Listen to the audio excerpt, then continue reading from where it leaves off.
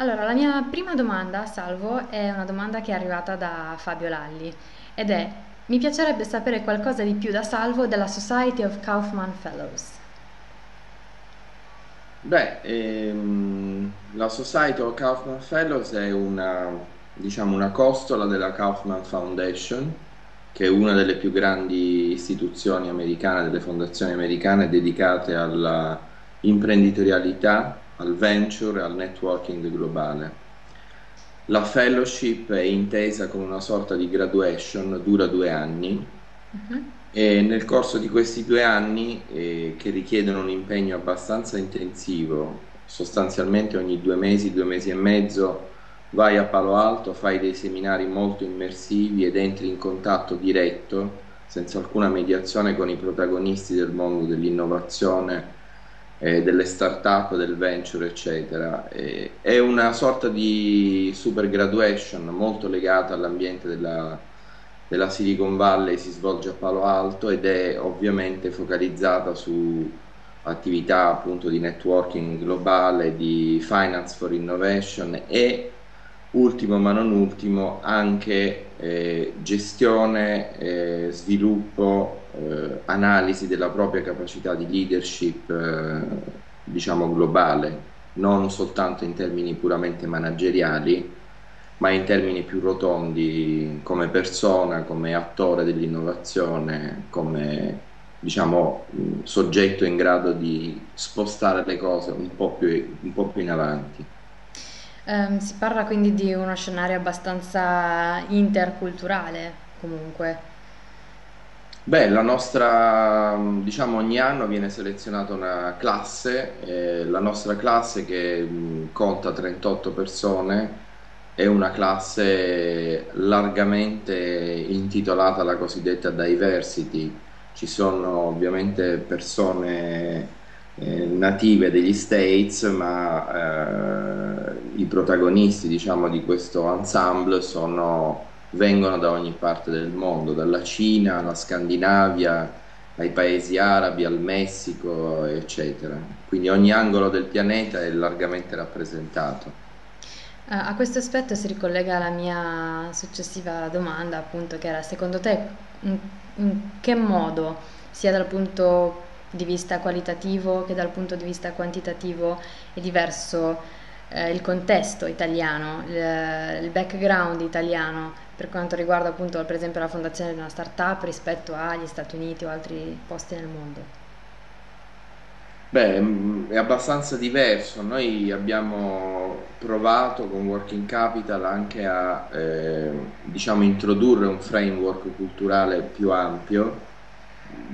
Il 15 giugno, qualche settimana fa, è stato qui in Italia Greg Horowitz, che è autore di questo meraviglioso libro dal titolo Rainforest, I segreti della Silicon Valley, dove in qualche modo eh, eh, diciamo, il tentativo è stato quello di coinvolgere tutti gli attori dell'innovazione italiana eh, intorno alla domanda perché da noi non funziona.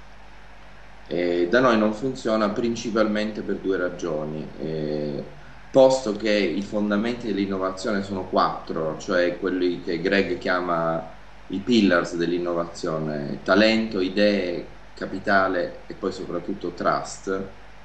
Noi abbiamo un problema soprattutto sugli ultimi due punti, cioè sul capitale e sul trust, perché di talenti e di idee ne abbiamo molti, eh, tant'è che siamo i maggiori esportatori di talenti e di idee nel, nel resto del pianeta. Sul tema della capital formation e sul tema del trust generale, eh, l'Italia è abbastanza indietro. Quindi la riflessione che abbiamo lanciato, il cosiddetto crowd canvas, legato appu- appunto al modello Rainforest di Greg e di Victor Wang, è un tentativo di fare chiarezza con noi stessi, non c'è una pretesa di egemonia culturale da questo punto di vista e che senza capital formation e senza un sistema di trust in grado di far girare tutti gli elementi del sistema, l'innovazione resterà in Italia un tema, come dire, da tavolo eh, e da tavolo con poche gambe. Eh, pensi che in questo, in questo scenario abbia un certo peso anche, ad esempio, la pubblica amministrazione?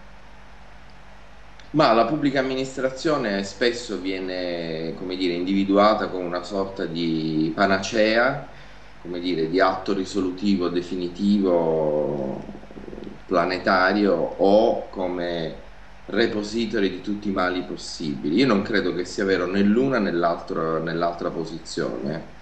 Credo che la pubblica amministrazione sia lo specchio di questo paese, della sua storia, del modo in cui peraltro si è formato il nostro carattere, la nostra identità nazionale, quindi francamente mi sembra uno dei punti, ma non il punto chiave. Quando risolveremo i temi che dicevamo, di cui discutevamo prima, risolveremo anche i temi della pubblica amministrazione, né più né meno. Um, senti, io ho visto le slide della presentazione di Orovit di qualche giorno fa e ho trovato affascinante proprio il, um, il presupposto, chiamiamolo culturale, che ci sta sotto, no? di un certo tipo di eh, volontà di collaborazione che invece moltissimi negano esista in Italia, che invece sarebbe più improntata alla competizione. Sei d'accordo con questa riflessione? Per certi versi sì, eh, nel senso che l'Italia, che è il paese dei mille territori e dei mille campanili, ha una, un grado di conflittualità interno a ogni microsistema eh, che è abbastanza facile eh, da rilevare eh, sotto gli occhi di tutti. È anche vero che eh, in Italia esiste un humus, una cultura legata anche alla tradizione cattolica, se vuoi per certi versi, il volontariato, il terzo settore. Eh, diciamo, non è eh, sempre vero che la competizione ottusa è volta alla distruzione del nemico piuttosto che all'avanzamento di un qualsiasi progetto sia il tratto dominante. È un pericolo, soprattutto dove gli ambienti si fanno chiusi, dove non penetra la diversity e dove in qualche modo eh, l'eredità, il retroterra eh, culturali, territoriali la fanno da padrone. Perfetto, parlavi prima di Working Capital, ti volevo chiedere un po' a che punto siamo, come è andato, insomma. Beh, Working Capital entra quest'anno nella sua, diciamo, è la sua quarta edizione. Abbiamo iniziato nel 2009 in questi anni è cambiato tutto, nel senso che quando abbiamo lanciato il progetto, il programma o comunque lo vogliamo chiamare, la situazione era molto diversa da quella di oggi, una situazione in cui il tema dell'innovazione, delle start-up, della creazione di nuove piattaforme, di nuove imprese internet era abbastanza freddo. Eh, non c'era una grandissima attenzione da parte del sistema, non esisteva un ecosistema sostanzialmente siamo stati insomma tra quelli che hanno iniziato un percorso, quindi siamo contenti di, di avere in qualche modo contribuito a un cambiamento di clima. Eh, nel corso di questi anni poi sono, diciamo, sono intervenuti altri fattori, sono, diciamo, sostanzialmente sono cambiate due cose. Da una parte il tema è entrato nell'agenda del paese, grazie allo sforzo di tutti, di tutti noi intendo, dall'altro ehm, la necessità in qualche modo di spingere la crescita eh, è diventato un fatto come dire, determinante nella soluzione della crisi. Quindi Working Capital ha dato il suo contributo, si è evoluto, è cresciuto, ha costruito e sostenuto moltissime realtà sia a livello di grant sia a livello di progetti di impresa. Lo scorso anno abbiamo fatto diciamo, una sorta di joint venture con il Premio Nazionale Innovazione coinvolgendo, come sai, migliaia di persone in un tour che ha attraversato tutto il paese. Boh, in qualche modo mi piace pensare che questo sia stato un po' l'inizio di una sorta di riscossa nazionale. Poi ovviamente adesso aspettiamo tutti le, gli interventi strutturali lungamente discussi e attesi da parte del governo, dei corpi intermedi, eccetera, anche perché se non cambiamo alcune condizioni di base non basterà certo working capital a, eh, diciamo, a cambiare il destino dell'innovazione nel nostro paese. Sai, parlando con eh, qualche startupper, eh, uno degli elementi individuati come più problematici era il fatto che, ad esempio, all'estero per poter far partire la propria startup fosse necessario soltanto ottenere quelle due o tre autorizzazioni, nel giro di pochi giorni si poteva partire, mentre in Italia ci vogliono mesi. Eh, quanto influisce secondo te questo aspetto? E questo è un aspetto essenziale e non è un caso che sia anche al centro della riflessione di Greg Horowitz eh, e di Victor Wang. Eh, tu hai letto il libro e hai visto quanta parte abbia eh, il tema dei cosiddetti transaction cost. Eh, è una teoria, in realtà un, diciamo, un'osservazione pratica meravigliosa che Greg e Victor riprendono e trasformano in una sorta di cartina di tornasole per misurare quanto un sistema sia in grado di funzionare. I transaction cost nascono dall'intuizione di un premio Nobel per l'economia Ronald Coase ed è sostanzialmente il, il costo di transazione che è richiesto a ognuno di noi per portare a termine un compito, un progetto, un'idea, un, un tentativo. Quando questi transaction cost sono molto elevati, il sistema tende a irrigidirsi e a non funzionare più. Eh, noi siamo in questa condizione, i transaction cost interni al nostro paese sono molto elevati e un intervento diciamo, deciso in questa direzione è il prerequisito perché qualunque tipo di iniziativa, di progetto, di nuovo quadro legislativo possa funzionare. Senti, a proposito di um, ecosistemi, ci sono diversi esperimenti, tentativi in Italia in questo momento per quanto riguarda um, le aggregazioni di start-upper e start-up, da indigeni digitali ad altri progetti che cercano di portare insieme le persone che fanno innovazione per tentare anche di aiutarsi a vicenda, effettivamente. Quanto pensi possano aiutare? Che cosa ne pensi di queste realtà? Ma penso molto bene, nel senso che in assenza di una community viva, vibrante, capace di trasmettere in qualche modo eh, da una parte la cultura dell'imprenditorialità, dall'altro le informazioni che servono, ehm, è evidente che il sistema si bloccherebbe immediatamente. Cioè queste community, queste realtà, tutte le organizzazioni che ruotano intorno al tema dell'innovazione, delle start-up, dell'imprenditorialità, sono, uh, sono, un fatto estremamente positivo. La velocità delle idee è l'altro prerequisito, oltre alla velocità del capitale. Cito sempre ormai la nostra Bibbia, chiaro, mi riferisco sempre al, al libro Rainforest. Eh, sono un altro dei requisiti perché il sistema possa girare e possa entrare a regime in qualche modo. Quindi benvenute tutte le organizzazioni e tutte diciamo, le strutture che in un modo o nell'altro tentano di seguire questo percorso. Um, qualche tempo fa mi ricordo che mi aveva molto colpito il fatto che eh, il claim praticamente di, di, una delle edizioni di Working Capital appunto stavamo cercando mille idee e ne sono arrivate quasi 2000 se non sbaglio, giusto? Sì, e mi aveva molto colpito questo aspetto, anche e soprattutto considerato il fatto che siamo in un periodo di crisi non indifferente. Mm, come spieghi questo fenomeno?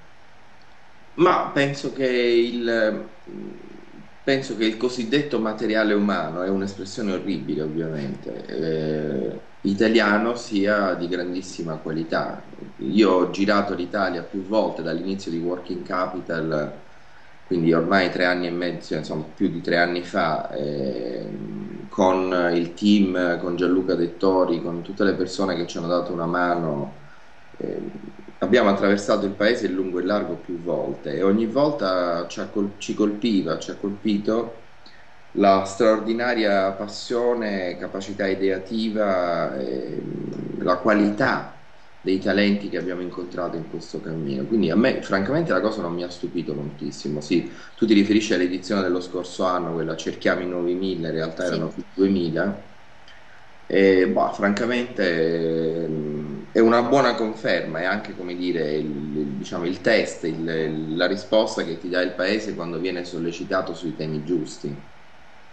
Mi voglio ricollegare al fatto del viaggio, dell'aver attraversato l'Italia, eh, ci sono in atto diversi tentativi di geolocalizzare le start-up italiane e di metterle effettivamente sulla mappa con risultati sorprendenti a volte. Quindi ti vorrei chiedere, secondo te, quanto è vero, diciamo, l'assunto, tra virgolette, che le start-up stanno specialmente al nord ehm, e soprattutto qual è la differenza tra nord e sud da questo punto di vista?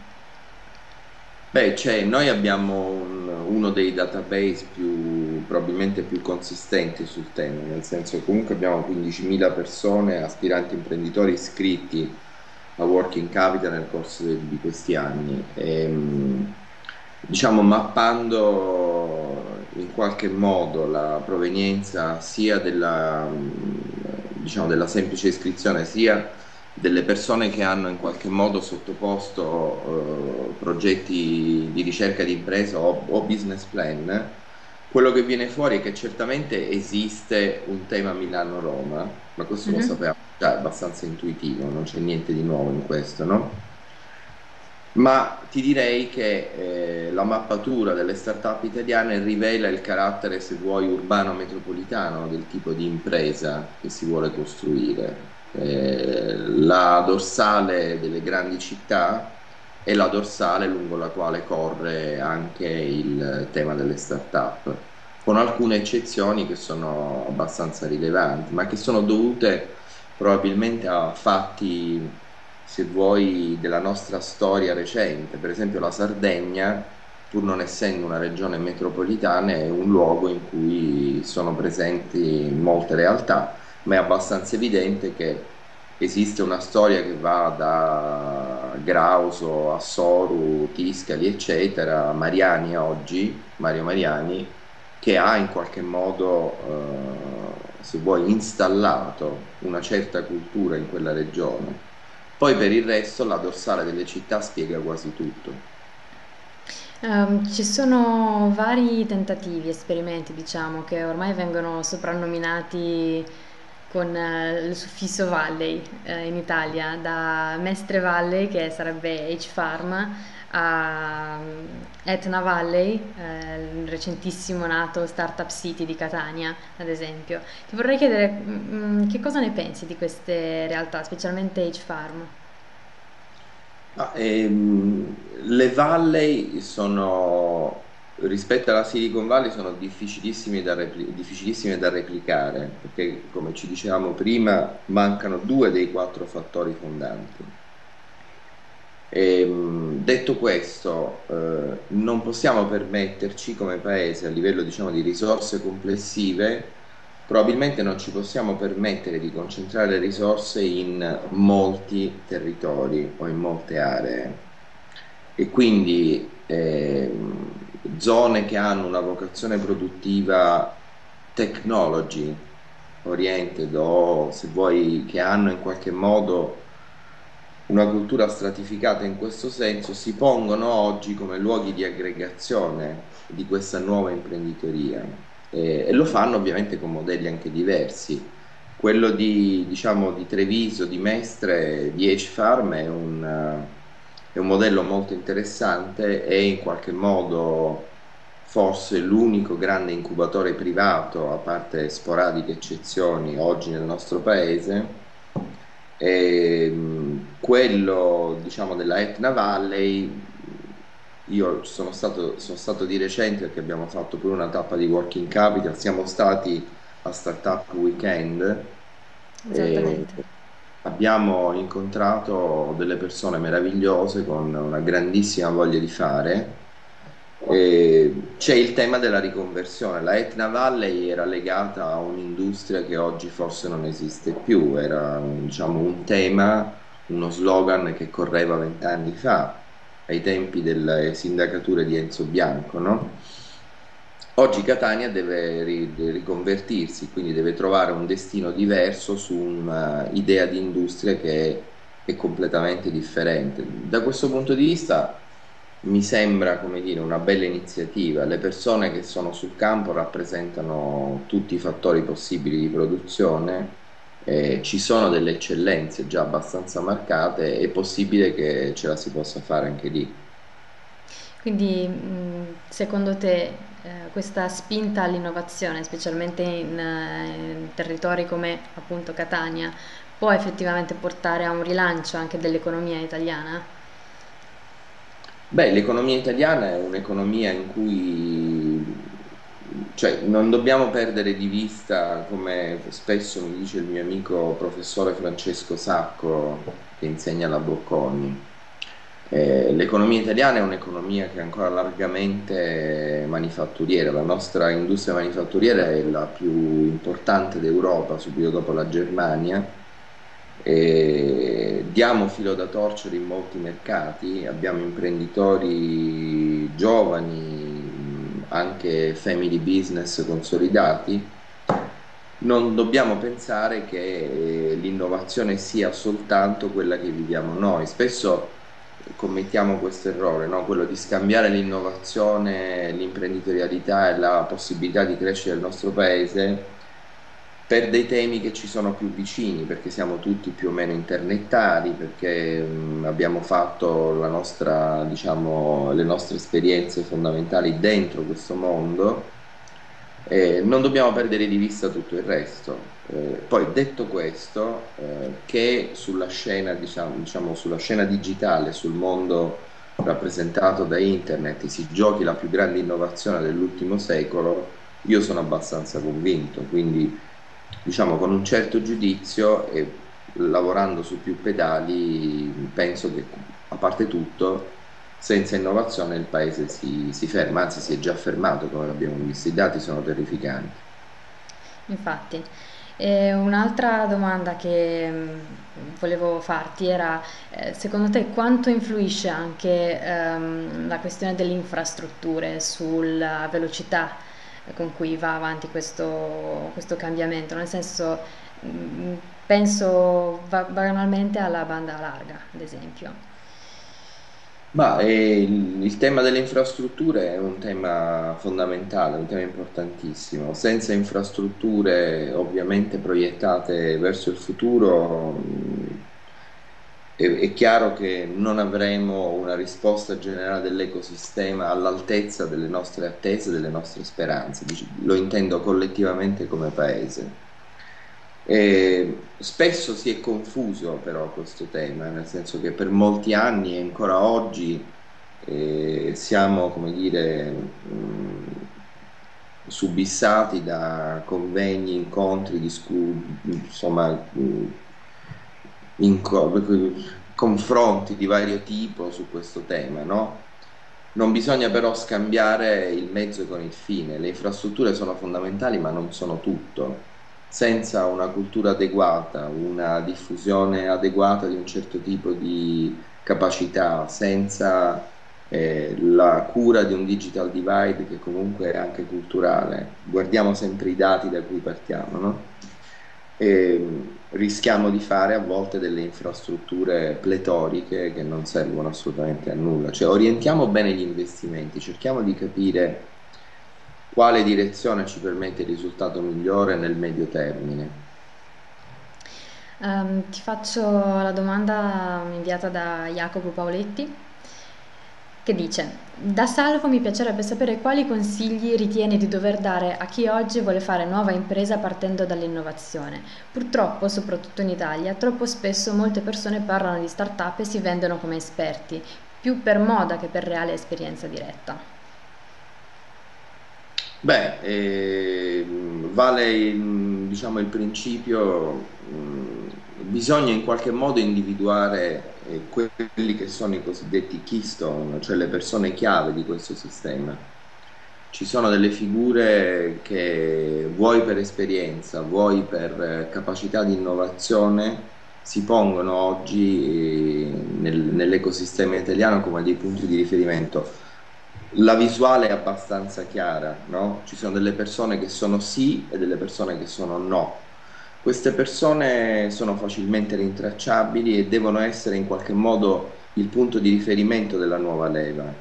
E, queste figure sono centrali anche nella Silicon Valley, sono le figure che generano trust, eh, che chiariscono eh, obiettivi, che sviluppano sistemi di mentoring, che danno in qualche modo gli obiettivi e che sono capaci anche di in qualche modo di aiutare diciamo, la convergenza di capitali su singoli progetti o su progetti, come li chiamavi tu prima, diciamo, territoriali o microterritoriali. Dobbiamo scegliere bene le persone di cui fidarci e, e alla fine non c'è altro che questo, nel senso Oggi come ieri chi vuole fare una startup deve avere delle figure di riferimento e mm, se riusciamo in qualche modo a sostenere anche le figure di riferimento facciamo un bel passo avanti. Senti, ultima domanda. Eh, in base a quella che è la tua esperienza, eh, come pensi evolverà questo scenario in Italia?